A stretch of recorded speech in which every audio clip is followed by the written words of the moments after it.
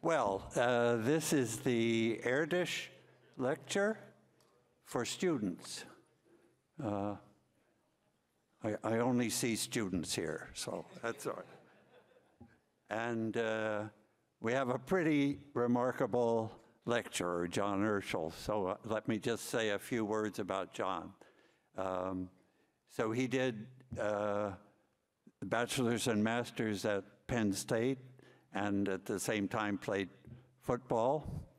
And uh, after the master's degree, he uh, went into the National Football League, played uh, guard for the Baltimore Ravens. So we don't see that many mathematicians on the Baltimore Ravens, but this is a, an exceptional person.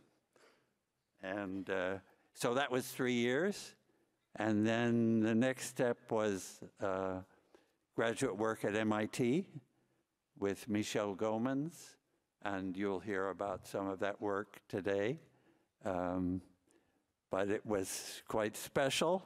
So one final step then is that um, he was appointed to an assistant professorship at MIT, and that's very, very unusual to take that step directly from thesis to faculty. So uh, I'm looking forward to John's lecture. And may I just say, he's a terrific guy. So, so John, all yours.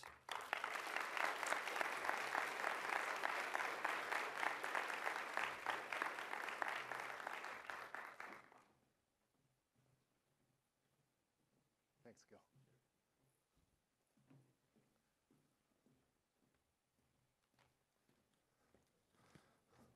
All right, uh, perfect.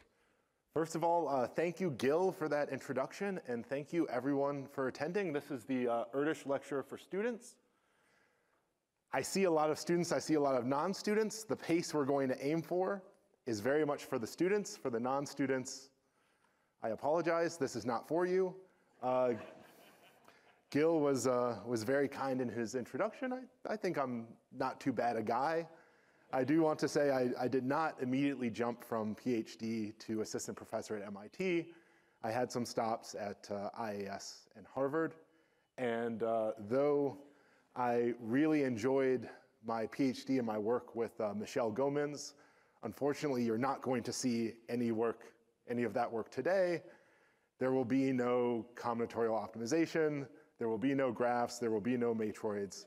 But what I can promise you is an interesting story, a story that connects, in many ways, classical questions in uh, analysis that were asked in the late 18th century, early, sorry, late 19th century, early 20th century, and the ways in which these questions are actually intimately related to concepts in numerical analysis and numerical linear algebra which are two areas that uh, are very close to my heart and that I actually do research in. And this is really a talk about moments, which if you were in the last lecture here by Ankur, he, uh, he talked about, he defined, and he showed the power of these things for solving problems in theoretical machine learning. And eventually, by the end, very briefly, we'll get to the idea of how these things can be useful for matrices. Now that's enough talking. Let me start showing you some slides.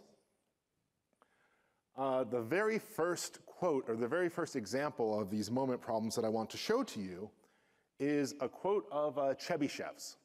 So this goes all the way back to 1874, and Chebyshev, in this paper, The Limiting Values of Integrals, he's solving some theoretical questions, but it's not lost on Chebyshev the physical interpretation of the questions that he's trying to answer. And he says, okay, this is translated, I believe, but he roughly says he has some material in a straight line, and he knows how long this rod is.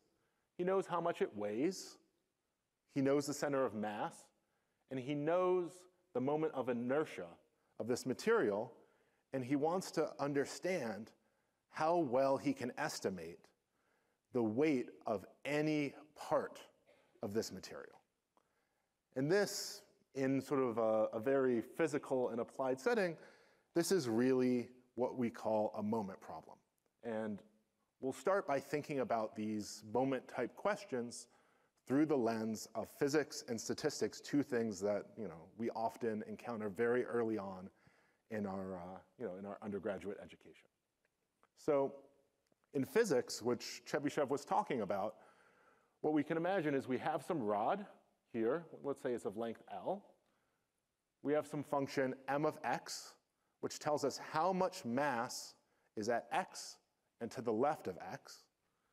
And then we have some density lambda, which is telling us if we look over some small interval of length dx of this rod, how much mass is there in that region? And Chebyshev's question fundamentally is saying, using the weight, the mass center, and the moment of inertia, how can we understand the distribution of the mass on the rod? How can we understand this linear mass density lambda, you know, some non-negative function from 0 to L? Or how can we understand this mass function, m of x, some monotonically non-decreasing function that's measuring how much mass there is to the left of x?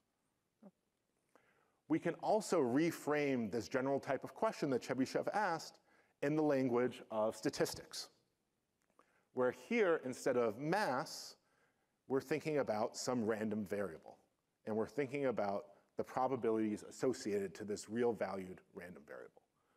We have some cumulative distribution f, which replaces our mass function. It just says, how likely is it that my random variable is at most some value x? And then we have what's called a probability density function, which is a way to represent sort of like the density of the likelihood of our random variable being in any given region. And just like in the physics setting, we can use this information, which here, the integral of a probability density function always integrates to one. We have this normalization. But then this becomes what was a mass center is an expectation, and what was a moment of inertia is really just a function of expectation and variance.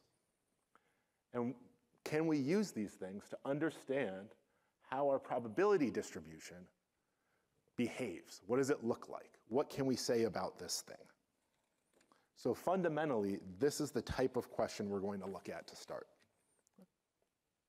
And the big idea that we're really going to lean into today is that given some non-negative weight function, whether it's some probability density function, some linear mass density, these moments, oops, these moments, which is just the integral of monomials u to the k, this k will represent the kth moment, when I take all these things together, maybe some finite amount or infinitely many of them, these will tell me about the thing that's underlying them. They'll tell me about my probability density function. They'll tell me about my you know, cumulative density function, distribution function.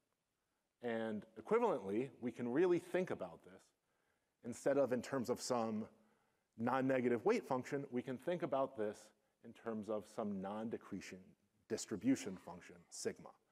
So what I have something, what I have is something that's monotonically non-decreasing, it's right continuous, and I get these moments, and this distribution function is related to my weight function, and that my weight function is its derivative, if it exists in some natural sense. So this is the big setup.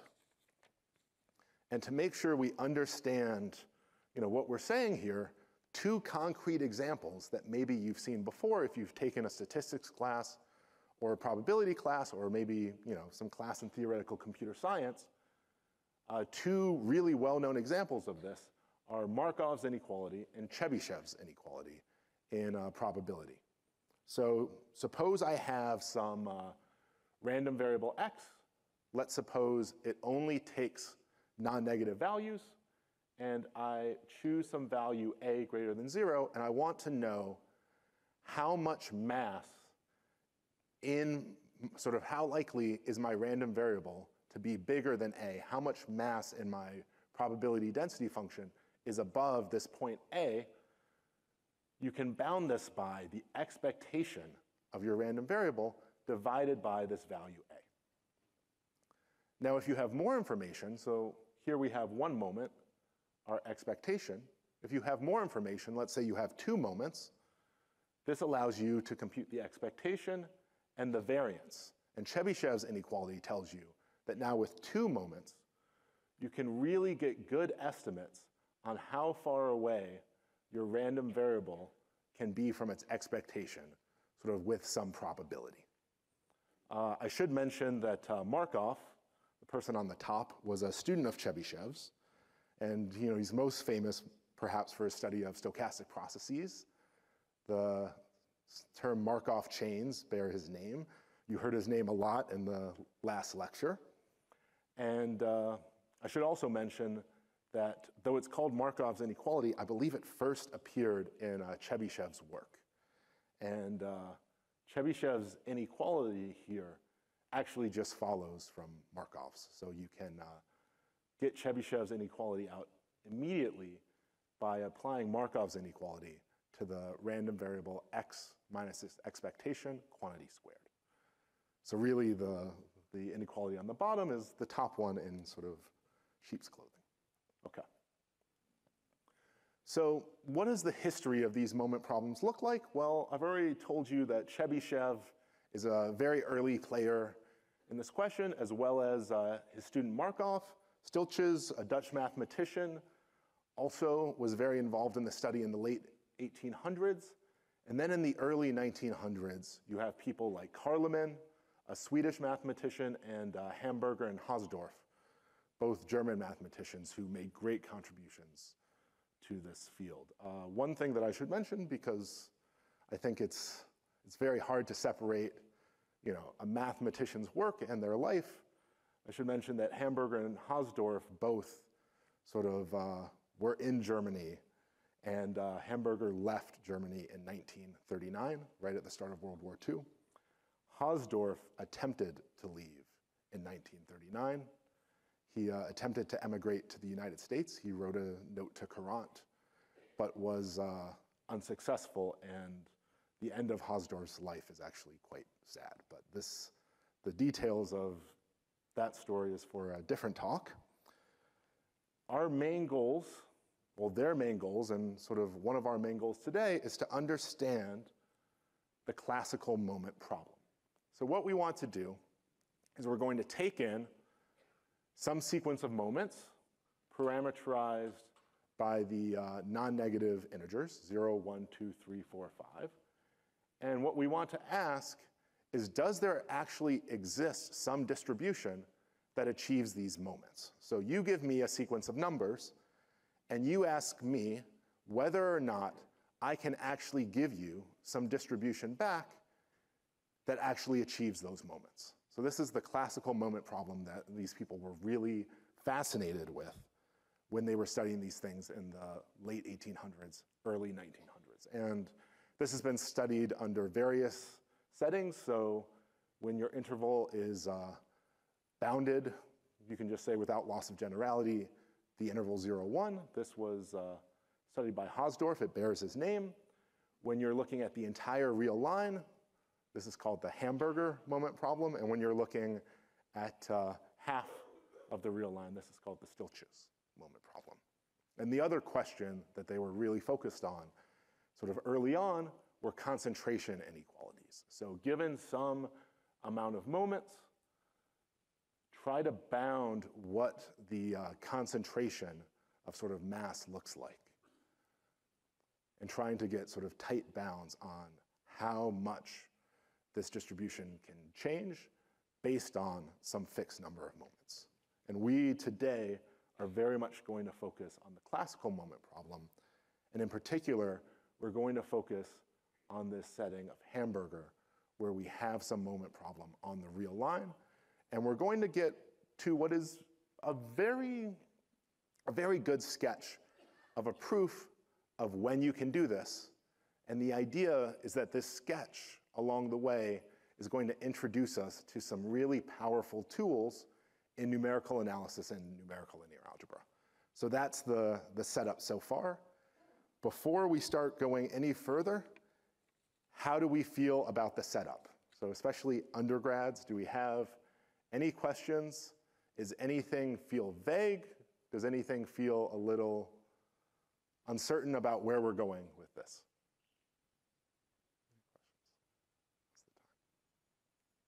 Questions are reasonable, I want to stress. Okay. okay. Yeah. Did I hear? No. Just pretended that I heard. Okay.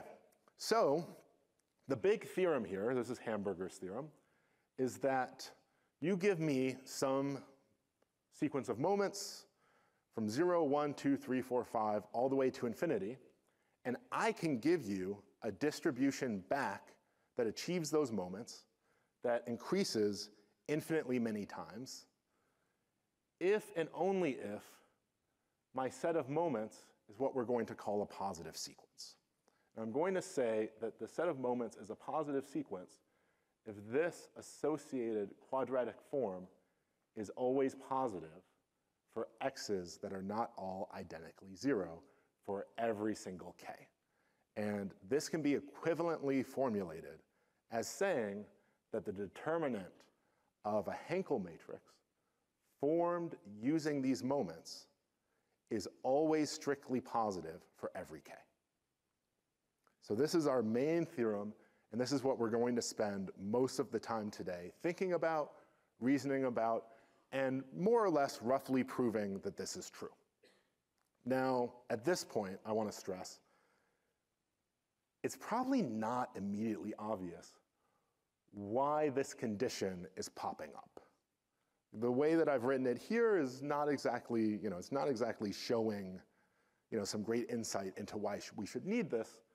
The way in which the necessity starts to sort of become very straightforward is when you understand that this quadratic form is actually encoding the integral of something with respect to our distribution. So the reason why we really need this is because this quadratic form is actually encoding the integral of the square of some polynomial, a polynomial whose coefficients are encoded by these parameters x of i. And so why do we need this quadratic form to always be positive for any x that's not identically zero? Well, you know, if we have some distribution function that's increasing infinitely many times, well, first of all, we know that the integral of something that's non-negative had better be non-negative, otherwise we have problems. So we know that this definitely needs to be greater than or equal to zero. But the strict positivity comes from the fact that if we fix k, what we're doing is we're integrating the square of a polynomial of degree k. How many zeros can a polynomial of degree k, that's not the zero polynomial, have? For students. K. So we can have, yeah, okay, the answer is also on the board, but I'm trying to give easy questions to start. We'll, we'll get to some more difficult things. So the point is that this has at most k zeros, and my distribution, we assumed, increased infinitely many times. So that means this has to increase somewhere where my polynomial is not zero, and therefore this integral has to be positive. So this is really getting to the heart of why we need this condition, because otherwise things just don't make sense. The real heart of this proof is trying to actually construct some distribution given these moments. And there are a lot of different ways to sort of show this or to go about this. The way in which I want to show this is going through one of the most fundamental sort of concepts in numerical analysis. Okay, the idea for our construction is what we're going to do is we have all these moments. We don't, I don't want to see them all. This is too many, infinitely many. This is too many. I can't handle it. I just want to see finitely many of them. In fact, I just want the first two times k of them. And what I want to do is for any fixed 2 times k of them. I want to build some distribution that achieves these moments, and I want this distribution to increase at most k many times. And my idea is if I can do this for every single k, then I claim that something good is happening. The idea is that if for each of these I have some monotonic step function that's increasing at most k times, then I get a sequence of uniformly bounded monotone functions. And uh, the nice thing is that Helly's theorem tells us that uh, if we have this sequence, we're going to get a convergent subsequence. And this will give me my distribution. Okay, so I'm reducing this problem of coming up with some distribution function given all my moments to solving this problem just given two times k moments and trying to construct something that increases only at at most k points, and I get to choose how much it increases by.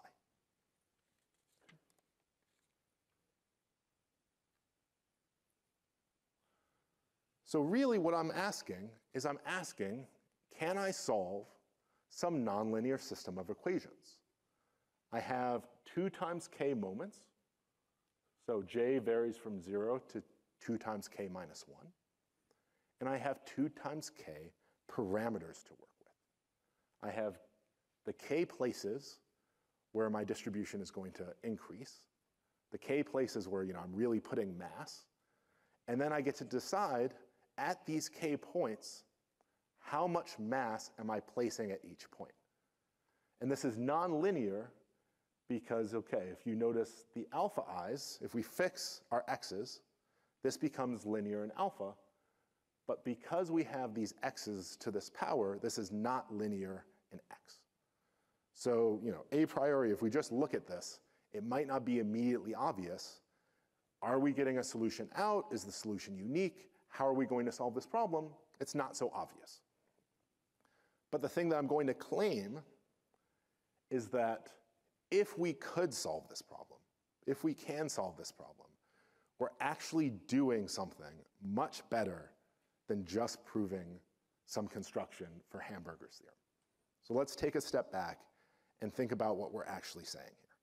So suppose we actually have some distribution okay, we have moments, so if we're integrating polynomials, we can essentially say that the integral of some polynomial is parameterized by its moments, and I'm going to abuse notation by just saying this is the integral with respect to sigma x, in the sense that I know what this should be if it exists.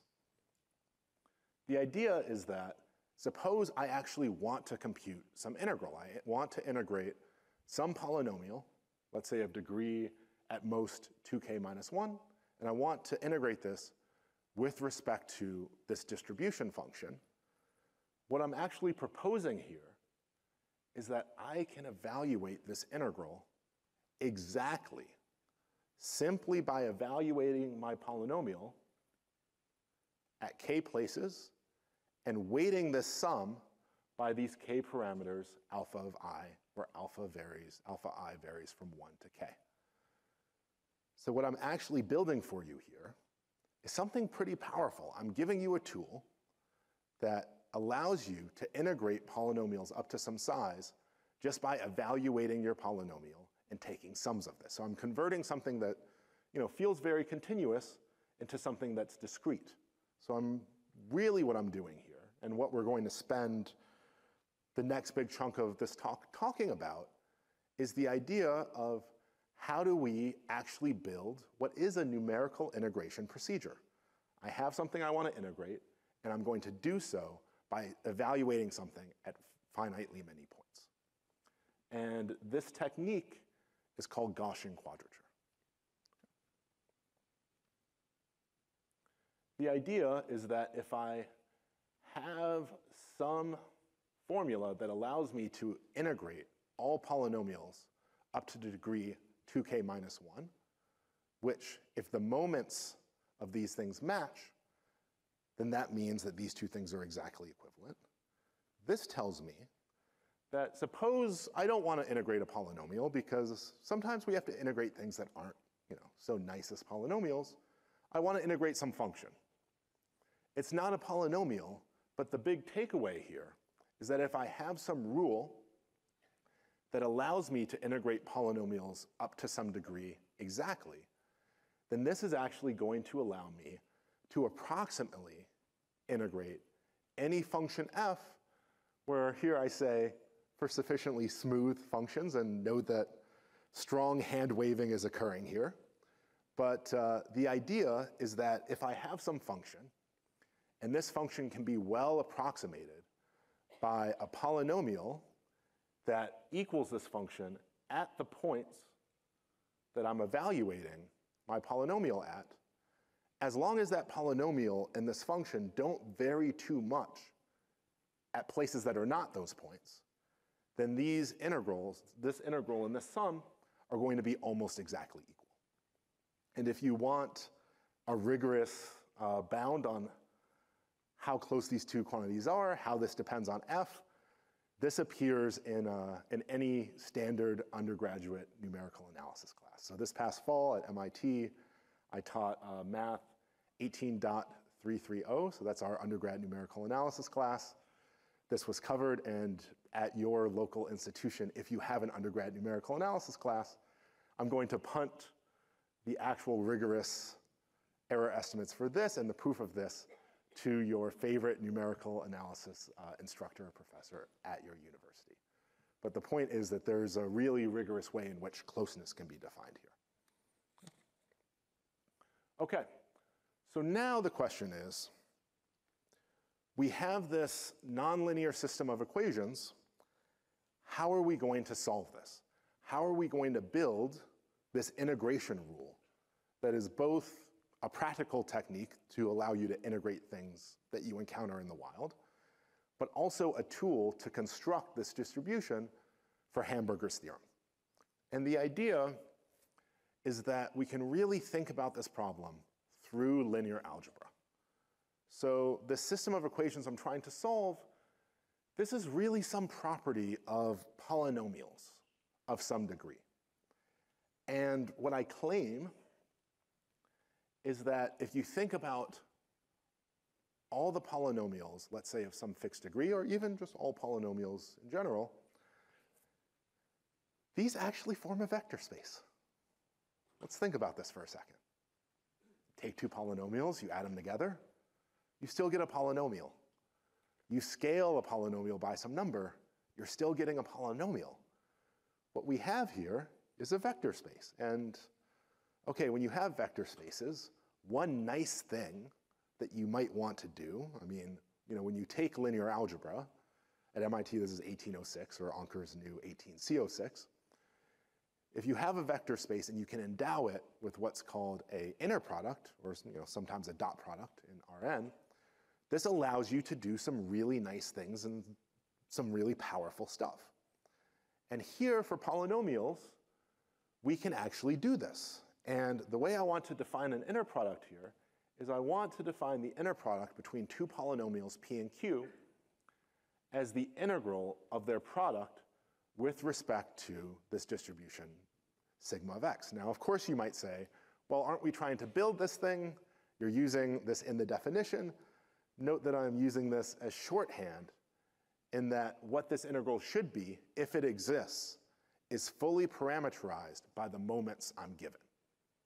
So really, when I define this inner product, I'm defining it as a function of my moments, but you should think that, okay, at the end, we are getting some distribution function out, and this is really the integral of their product. So far, so good. And why is this actually an inner product? Well, you can check all the properties. The key one that we really need to take a look at is the fact that these moments form a positive sequence this tells us that we get positive definiteness of this inner product. And this is the sort of the key one of all properties to check. Okay, so now, so far so good. We're doing pretty well. We have a vector space. I just defined an inner product. And now, okay, the sort of name of the slide is orthogonal polynomials, so you can probably guess where I'm going with this. I have a vector space, I have some inner product. let's start thinking about a basis, right? It's always good to have some sort of basis to work with. And you might say, okay, I want a basis for polynomials. A natural thing you could do is you could say, well, why don't I just use all the monomials? You know, I'll take 1, I'll take x, I'll take x squared, x cubed. This is definitely a basis. These things are linearly independent. But oftentimes, when you want to take you know, some problem in linear algebra and make it simpler, a good way to do this is to take an orthogonal basis. This often is sort of the right way to represent things. And just like when in linear algebra you want to take some orthogonal basis built from a basis you already have, doing Gram-Schmidt orthogonalization, we can actually do the same thing here with these polynomials. And this is going to produce what we call orthogonal polynomials. So what I can do is I can build some orthogonal basis of polynomials, p0, p1, all the way to pk, where each polynomial is monic, so that means its leading term has coefficient 1, and the ith polynomial is of degree i. And how can I do this? Well, the natural way you can think about this is I take this sort of natural basis for polynomials that we just talked about, 1x, x squared, all the way to x to the k. And I can just perform Gram-Schmidt orthogonalization that you learn in, in linear algebra class. I understand, you know, we don't have, you know, vectors in Rn here, we have polynomials, but I claim that I have a vector space, I have an inner product, and now everything is really the same. And this will allow me to build this basis. Now you can build this basis in a slightly slicker way by proving that uh, if you want to do Gram-Schmidt to this sequence, that actually you don't need to orthogonalize to all your previous vectors. You only need to orthogonalize to your previous two. But this takes a little bit of work to see and is not the most obvious thing. Uh, verification of its non-obviousness. I, uh, so I should mention, I've given this talk twice before, uh, once at uh, the Harvard undergrad colloquium and once for uh, MIT undergrads as part of a summer program. And when I gave this talk at Harvard, I very quickly learned that this, uh, this question of three-term recurrence actually was a qualifying exam question for uh, the Harvard analysis qual. So I, I don't know what year it was. Noam Elkies mentioned this to me. Maybe 2020, maybe 21, but I should mention that uh, you know, these things do show up. This showed up on a Harvard analysis qual. So I hope you will allow me to skip the, the details of this. Okay, good. Okay, but the key thing that I want you to note about these polynomials I've built, they have a really, really interesting property. So if I look at, let's say, polynomial pi, it's orthogonal to p0, p1, p2, all the way up to pi minus 2. Because these polynomials were built by applying Gram-Schmidt to this sequence, I know that the first, let's say, i of these span the same subspace as the first i of these. That means that pi is not just orthogonal to p0, p1, all the way to pi minus 1, pi is also orthogonal to 1, x, x squared, all the way to x to the power i minus i. And that tells me that this polynomial pi is actually orthogonal to all polynomials of degree at most i minus 1 because I just gave you a basis for them. Okay? And this is the key property that really makes things go here. All right, now we're almost ready to really sort of bring this all together and give you a big takeaway about how these orthogonal polynomials are actually intimately related to this Gaussian quadrature question that I asked you. This question of solving this nonlinear system of equations has a really, really elegant answer, actually. Surprisingly simple. The big claim, and this is sort of the biggest claim of the whole talk that we're going to sit with for a little bit, is that when I want to solve this nonlinear system, when I want to figure out which points I should evaluate my polynomial at, and I want to figure out how much I want to weight each of these function evaluations, the right answer is actually to take these points to be the roots of my kth degree orthogonal polynomial. And once I fix the roots, then I can solve for my alpha i's just by solving a linear system. And the linear system that they should solve, it looks a little wonky, but the idea is that when j does not equal zero, this thing should be zero. It says that if I want to integrate some polynomial, oops, if I want to integrate some polynomial pj, where j is greater than one, this weighted sum had better be zero because the integral of it needs to be zero. Why?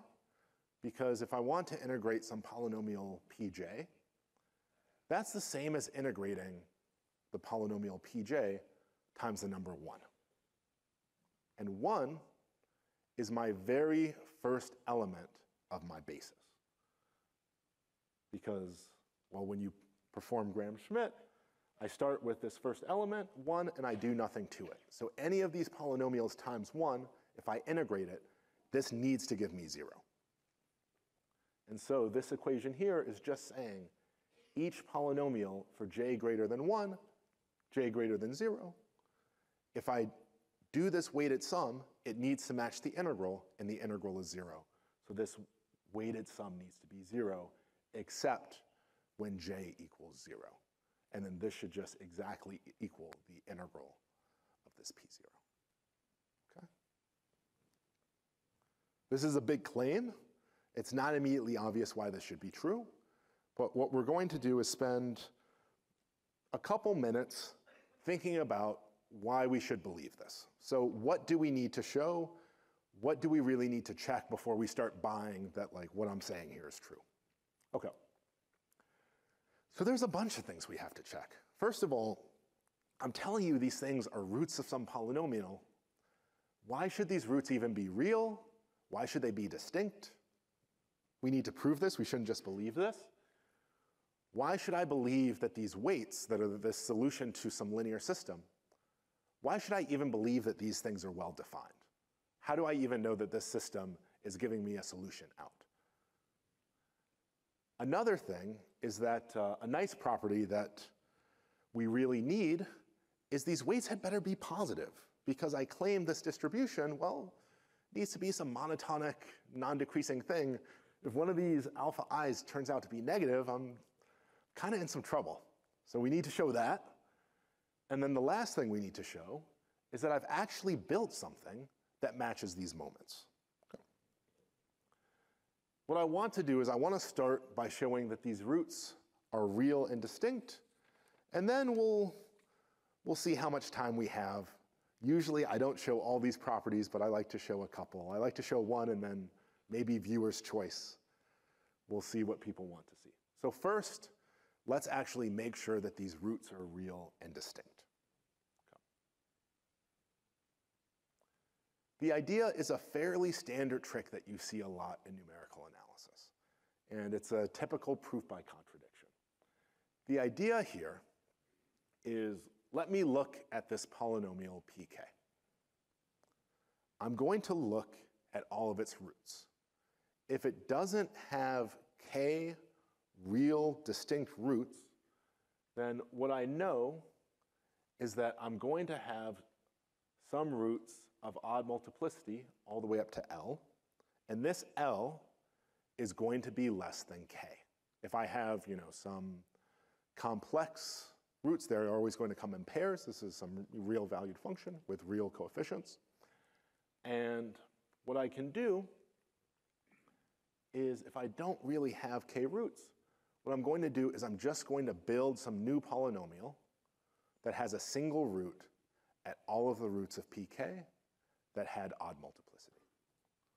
So now I've built some polynomial ql, and you'll have to excuse me, this k has now gotten small when that was big.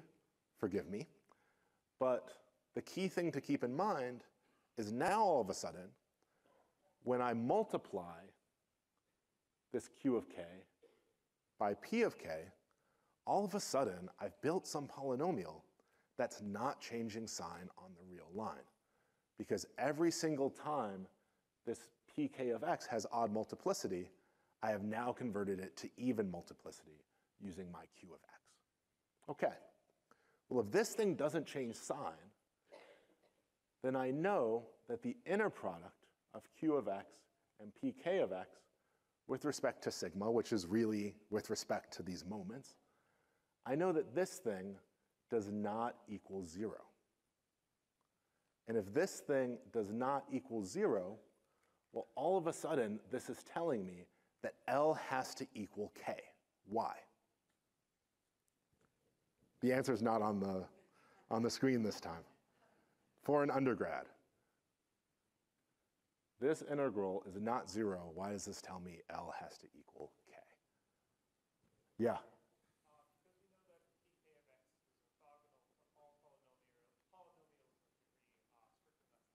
Exactly. So because we know pk of x is orthogonal to all polynomials of degree less than k, and we know that uh, y1 to yl, l can be at most k, because pk has at most k real distinct roots, we know that L has to be exactly k. So we get that the roots are distinct and they are all real. Good. Good job. Okay. Next, let's briefly look at why we should believe that these weights are actually well defined. Why are we actually getting some solution out? Well, this really turns into, again, a linear algebra problem. We have some linear system, and we need to make sure that we're actually getting a solution out. What we really need to do is we can prove something stronger. We can take this sequence of polynomials, p0, p1, all the way up to pk minus 1, that appears in this linear system, and we just need to prove that this matrix associated with our linear system is non-singular when we're evaluating our polynomial at distinct points. So we're going to prove this for any points ti that are distinct, when really we only need this for x1 to xk. What we're going to do is we're going to do a proof by contradiction. If this matrix A is singular, then we know that there's some vector y that's not the zero vector, such that y transpose A equals zero. And what we can do is we can use these y's to build a polynomial. So what I'm going to do is I'm going to define this q of x to equal a weighted sum of my orthogonal polynomials up to degree k minus 1, weighted by the coefficients of this y. And now, the fact that y transpose A equals 0 is actually encoding the fact that this t1 all the way to tk that these are all zeros of this polynomial q of x that I've built. But I have a problem. q of x is of degree at most k minus 1. It's the weighted sum of polynomials of degree at most k minus 1. But it has k roots. This tells me that this q of x has to be the zero polynomial. And if it's the zero polynomial, this tells me that my y was actually identically zero. Okay? All right, that the moments match take a little bit more work than I'd like to show. I'm going to punt to your local numerical analysis class for the sake of time, so we're just going to skip that one. And uh, we will finish off just by showing that these weights are actually indeed positive. positive and the way we're going to do this is, again, all of these proofs have a similar flavor, a similar type of trick, and this one is no exception. The way we're going to show that these weights are positive is what we're going to do is if I want to show that alpha i is positive, I'm going to build this polynomial. Or rather, if I want to show alpha j is positive, I'm going to build this polynomial q of j where it has a root of multiplicity 2 at every single point xi for i not equal to j. So this thing has degree 2 times k minus 2. And the thing you'll notice is its integral is positive. Why? Because if you look at this integral, it's the sum of alpha i's times my qj evaluated at all these different points. Note that the degree is 2k minus 2. This is less than 2k minus 1. I can integrate this thing exactly. So my weighted sum is exactly going to match my integral. Now this weighted sum, if I put in any xi that is not equal to j, this is going to equal 0. And I'm left with a single term, the term evaluated at xj. I get alpha j times some quantity that's a product of squares. And this is telling me that my alpha j is greater than 0.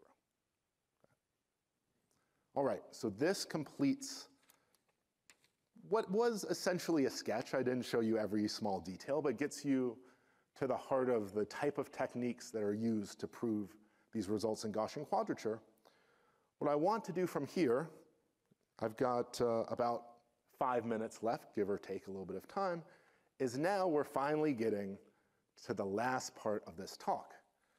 Yes, we've seen some matrices, but I haven't really told you how do these things connect to questions that I care about. Okay, I care about Gaussian quadrature, so let's, I don't want to act as if what I've talked about doesn't matter. It's you know, a very, very powerful technique in numerical analysis. But I want to get to numerical linear algebra and show you that the things I've been talking about today are actually connected to what are cutting edge questions in numerical linear algebra. So now we're finally going to go from these moment questions to matrices. So suppose I have some Hermitian matrix A. If you take A to be a real matrix, we can just call it symmetric. And what I want to know is how am I going to approximately compute its eigenvalues really quickly? Let's suppose I want to do this quickly in the sense that, uh, you know, doing the QR algorithm, this is way too slow. Spectral bisection is way too slow. I don't want to look at things that are matrix multiplication time or n cubed, but I want to look at things that can give me approximate answers really, really quickly. In particular, if my matrix A is sparse, if it doesn't have a lot of entries, I can apply it very quickly. I want to do something that gives me a good approximation of these eigenvalues without having to fully factor my matrix A. And so a very natural thing I can do is I can convert this eigenvalue problem for my matrix into the problem we've essentially been studying for the past you know, 40 odd minutes. I can define a distribution that just increases at every single eigenvalue of A, and it increases by a unit amount, you know, scaled with multiplicity. And what I can do is I can do what we've been doing.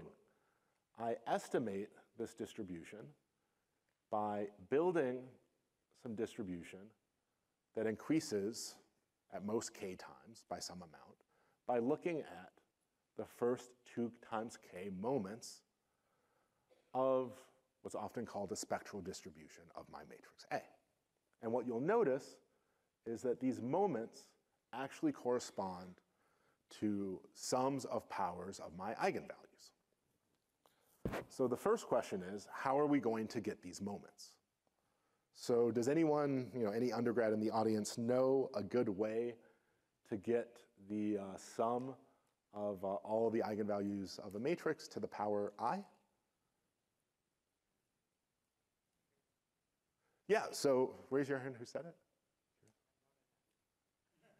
Okay, so someone said we can take the trace. And so indeed, one of the uh, sort of best ways to do this, I mean, probably the most straightforward, is what we can do is we can compute these moments by taking the trace of powers of my matrix. These are going to give me these sums of eigenvalues.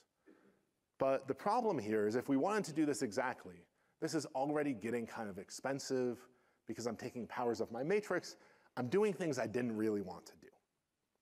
And so the question of how do we actually do this in practice is we settle for something that's not exactly the moments, but we're going to get some estimator for them. So this is relating to, you know, what actually happens in practice often. Okay, Ankur talked about this in his last talk.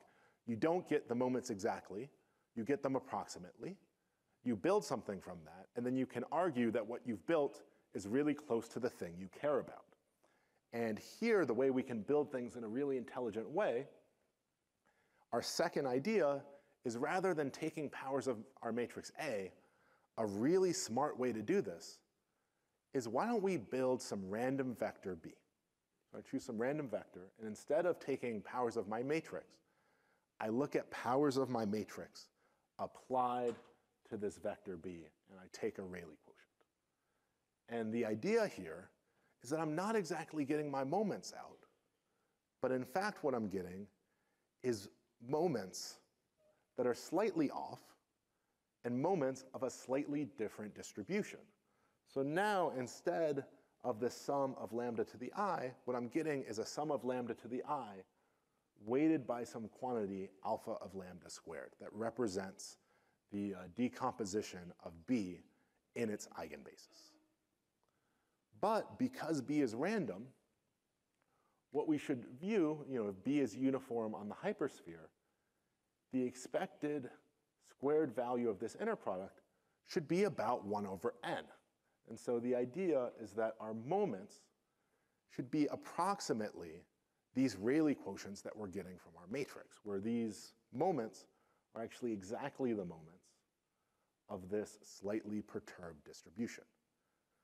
You can show that this distribution and the original spectral distribution of our matrix are actually quite, quite close up to, let's say, 1 over root n in uh, like Wasserstein distance or L1 norm, if that means something to you. So really, we're getting an approximation that is very, very good when the number of moments we're using is much smaller than root n. Because the difference between this distribution and the distribution we care about for a typical random B are essentially the same at the scale that we care about. Okay? And this sort of fundamental idea of using low order moments of some random approximation of the thing we actually care about this is sort of based on a more general type of ideas in numerical linear algebra called Krylov subspace methods. So the idea more generally that shows up in so many different areas of numerical linear algebra is as follows. I want to solve some numerical linear algebra problem. Maybe I want to solve ax equals b or ax equals lambda x. But what I want to do is solve it approximately for low degree polynomials. So I want to approximately solve this by restricting to the span of some vector b and the application of polynomials in A of degree at most, let's say r minus 1, applied to that vector b. And some examples that maybe you've heard of, maybe you haven't. If you have some symmetric positive definite linear system, conjugate gradient is a very famous and well-known technique. The uh, technique for this Hermitian eigenvalue problem that I sketched for you is this Lanczos method, and more generally, this technique applied to other settings has different names, different issues, and different properties. And uh, if you look at, you know, modern numerical linear algebra conferences, modern, you know, like what people are writing papers on, this subject, broadly speaking, is really on the cutting edge of what people in numerical linear algebra care about. Right, so just to summarize, we started with a very old problem in analysis from the late 1800s, early 1900s. We solved a special case of this problem through Gaussian quadrature, really a modern numerical technique to perform numerical integration. And by the end, we've seen that this technique we've built is really more general than integrals and analysis, but really a powerful technique to solve problems in numerical linear algebra. so uh, I'll stop here. It's uh, 7.54, and with that, uh, I think I'll end the talk.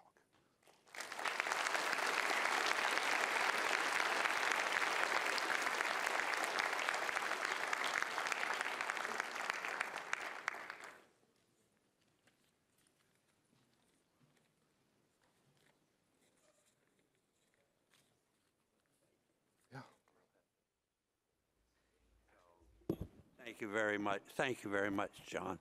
I'm going to go home and write orthogonality is important a hundred times uh, t- to remember the, an essential point here. And, and as, as you know, uh, every matrix has singular vectors that are orthogonal and that are super important. So that was an outstanding lecture. Are there questions? Questions or questions or discussion or?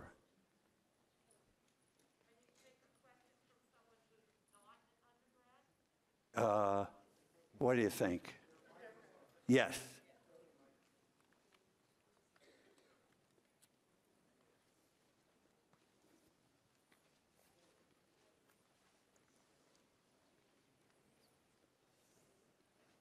So I'm not an undergrad, I'm an educator. I work with students in the K-12 world. I was very impressed with your pedagogy. I took a lot of notes on the way you phrase things. And one thing that really struck me was when you said, this is computationally expensive. You said, this is getting really expensive. So I was wondering if you ever talked to students who are undergrads or at any level on that idea of computational price or expe- expensivity and how you coach students to make decisions on their methods when that comes up. Yeah, absolutely. That's something that I found when I was an undergrad. I did not understand very well. You know, when I was an undergrad, I took, you know, courses in numerical analysis, some grad classes in numerical linear algebra, numerical PDEs, but I really didn't understand for a very long time what does computationally expensive really mean? And when I, you know, when I taught uh, numerical analysis this fall and when I have students, the way I like to really illustrate this is you have some problem you want to solve. At what point do you start to reach a bottleneck where you can't solve this problem, where it doesn't actually work so well? And one of the sort of easiest examples that I like a lot is you pull up uh, Julia or Python or MATLAB, you know, your favorite program, and maybe you just want to solve ax equals b. So you just generate some random dense a, and you just do uh, some, you know, some random b, and just do a backslash b using, you know, LAPACK. How big does a get before things start get, getting really slow? And looking at that compared to, let's say, using uh, techniques that run in linear time to see what does cubic scaling really look like compared to linear. When you say, okay, I do it 100 by 100, this happens in a, the blink of an eye. I do 1,000 by 1,000, it takes a second, but it happens.